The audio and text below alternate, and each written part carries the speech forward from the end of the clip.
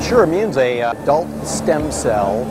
bank for private use, storing your own whole blood,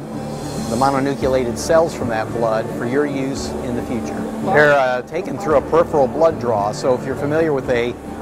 blood donation at your Red Cross or your local blood bank, we, we pull the blood, about 300, 350 milliliters of blood from your arm, and we spin that down, store them away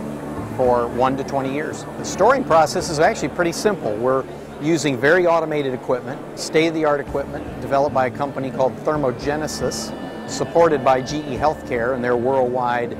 network of service people. We use a device that spins this down, processes the cells in a very gentle, natural way, and then those cells are placed in a double Teflon coated container, it's a small bag that's put in a cassette, and it's transported over into a big tank, kind of like a big washing machine, that drops the cassette into liquid nitrogen, drops that very slowly in a very special measure